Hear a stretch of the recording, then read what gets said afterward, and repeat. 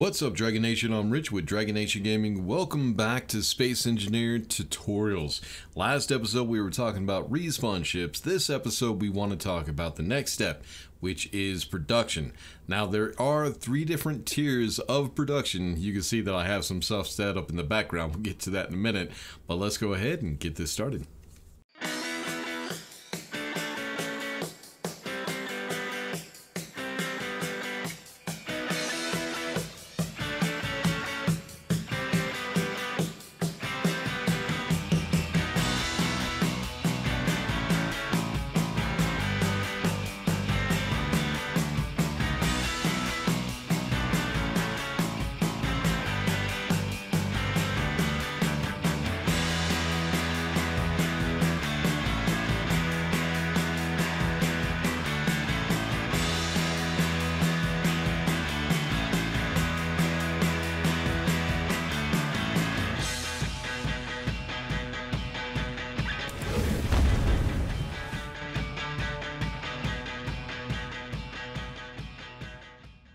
So when it comes to production in Space Engineers, it's actually very simple.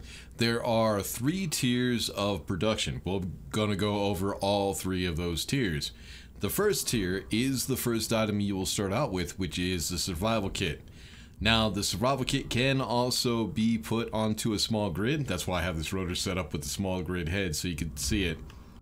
So the difference between the survival kit and the other ways of production, the other tiers, is a survival kit can only process stone and you actually have to queue that up.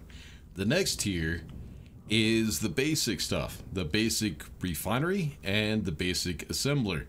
Now this will automatically process whatever resources you put into it, but it doesn't process everything. We'll be going over that here in a second. So it will automatically process the resources that you get, the ores, but it's a lot slower as well. It also doesn't produce as much. As much. The third tier is the regular refinery and the regular assembler. Now, the regular refinery will process all ores, and it's also a lot faster and makes a lot more than the basic refinery and basic assembler do. Now, if I go ahead and get out my welder, and if you look on the right hand side, you'll see the components that it takes to make this. So on the right hand side, uh, 10 steel plates, actually 30 if you count them all together.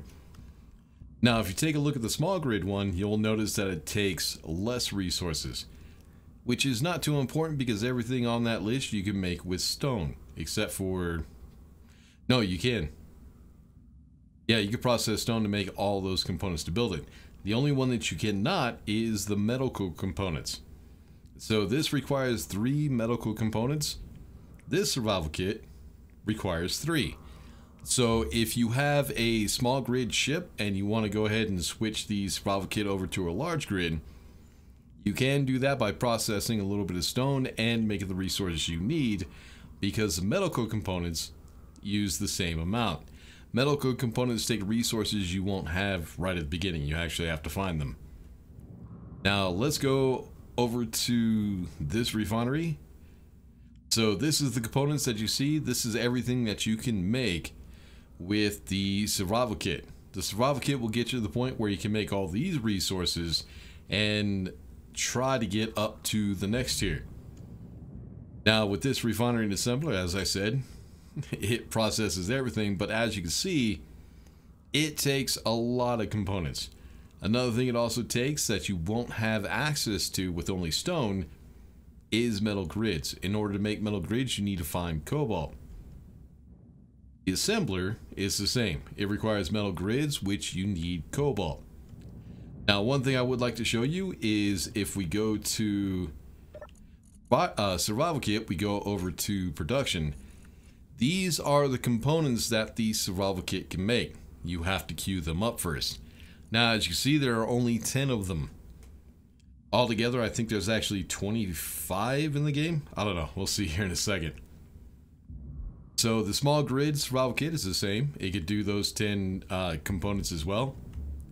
Basic assembler. We go to production. You'll see that there are actually more products that you can actually make. Including the cobalt and the large steel tubes right there. You can also make some power cells, so you can go ahead and make yourself some more batteries if you need to. Also a detector, which is really good to have on a ship. That's something we'll be going over with. Uh, going over it some other video. Now, if we take a look at the assembler and go to production, as you can see, there's a whole lot more stuff that you could process. So five, well, we'll keep that one out of it. So 5, 10, 15, 20, 25. So I was right. It's 25 components. This right here is a data pad. It's not a component. You probably won't use that all that much. So we're not going to worry about it. Now, if we come over here, what I did was I took 1,000 of each ore and put it into these refineries so that way I could test out just how much they can make. Now, the survival kit, as you can see, all the resources or all the ores are still in this cargo container because the survival kit does not automatically pull what it needs. But the only thing that you could process in the survival kit is the stone. But to process that, you do have to queue it up. So if you come to produ uh, production, this one's called Survival Kit 3. What you have to do is you have to tell it to make this right here. It says ingots, but that actually makes gravel. Now, there's a couple tools you do need to know. If you just click it once, it will process only one. If you hold down control and left click, it'll make 10. If you hold down control and shift, it will make a thousand. I'm out of stone, so it's not going to process at all. Now, in the game right now, there are four different ingots that you can make with stone in the survival kit, or in any of the processors. Gravel, iron, nickel, and silicon. Now with that, you'll be able to build everything up to the basic refinery and the basic assembler. So at some point, I do recommend going ahead and putting these onto your ship, your respawn ship.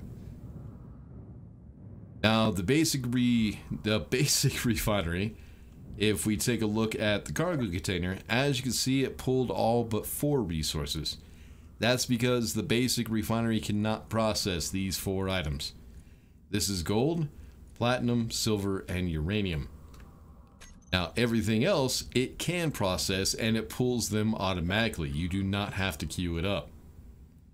So, of course, we had cobalt, which out of a thousand, that's it. A thousand ore, we only got 210 ingots. With the iron, out of a thousand ore, we got 511 ingots. Magnesium, out of a thousand ore, we only got 4.9 ingots. Nickel, out of a thousand, we got 282. Silicon, out of a thousand, we got 493. And then gravel. So some of this was from the stone as well, so it's not exact. I'll have to test that out at some point and see just how much we actually get. But out of a thousand gravel, we only got, or out of a thousand stone, we only got 9.8 gravel. Damn. I knew it was bad, but I didn't know it was that bad. Now, the refinery, as you can see, the cargo container is empty because it did pull all those resources. So the refinery can process every ore in the game except for ice. Ice is considered um, an ore, but it's not really an ore, kind of. But as you can see, with the cobalt, we did get a little bit more. So with the same amount of stuff, if we go over here and check out the cobalt, it was 210 and in that refinery we were able to get 300 so not only is this refinery faster it's also more efficient so i'm actually curious to see just how much i got out of everything. So gold is definitely one of those ones you do have to process a lot. Another one you pro probably have to process a lot is uranium. And where's the platinum? There it is. And platinum. Platinum you need in order to make the ion thrusters so you can move through space.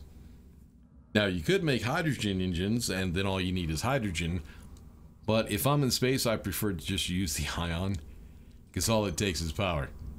So that's about everything that has to do with production. Next episode what I want to do is I want to go ahead and show you how you can at least get to the basic refinery and basic assembler on your respawn ship. But until then, make sure to like and subscribe, all that good stuff. I'll see you on the next one. Peace.